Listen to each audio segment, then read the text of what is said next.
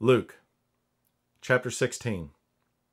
And he said also unto his disciples, There was a certain rich man, which had a steward, and the same was accused unto him that he had wasted his goods.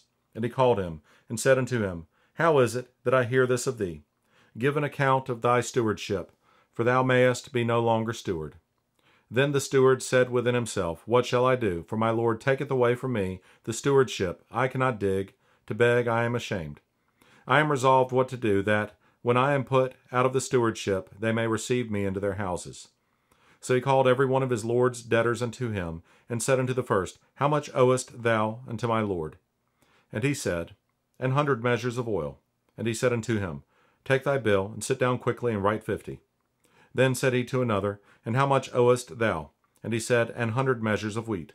And he said unto him, Take thy bill, and write fourscore. And the Lord commended the unjust steward, because he had done wisely. For the children of this world are in their generation wiser than the children of light. And I say unto you, Make to yourselves friends of the mammon of unrighteousness, that, when ye fail, they may receive you into everlasting habitations. He that is faithful in that which is least is faithful also in much, and he that is unjust in the least is unjust also in much. If therefore ye have not been faithful in the unrighteous mammon, who will commit your trust the true riches? And if ye have not been faithful in that which is another man's, who shall give you that which is your own? No servant can serve two masters, for either he will hate the one and love the other, or else he will hold to the one and despise the other. Ye cannot serve God and mammon.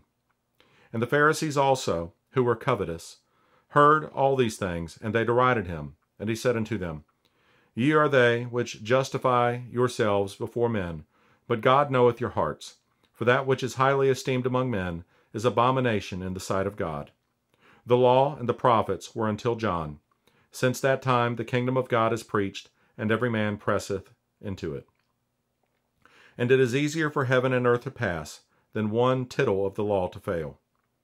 Whosoever putteth away his wife and marrieth another committeth adultery, and whosoever marrieth her that is put away from her husband committeth adultery. There was a certain rich man which was clothed in purple and fine linen, and fared sumptuously every day.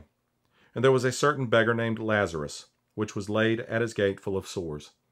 And desiring to be fed with the crumbs which fell from the rich man's table, moreover the dogs came and licked his sores. And it came to pass that the beggar died, and was carried by the angels into Abraham's bosom. The rich man also died and was buried. And in hell he lift up his eyes, being in torments, and seeth Abraham afar off, and Lazarus in his bosom. And he cried and said, Father Abraham, have mercy on me, and send Lazarus, that he may dip the tip of his finger in water, and cool my tongue, for I am tormented in this flame. But Abraham said, Son, remember that thou in thy lifetime receivedst thy good things, and likewise Lazarus evil things. But now he is comforted, and thou art tormented.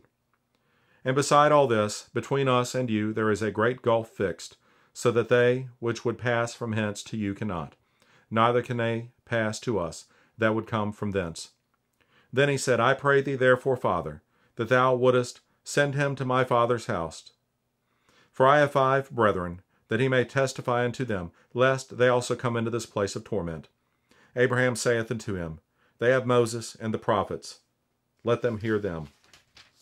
And he said, Nay, father Abraham, but if one went unto them from the dead, they will repent. And he said unto him, If they hear not Moses and the prophets, neither will they be persuaded, though one rose from the dead.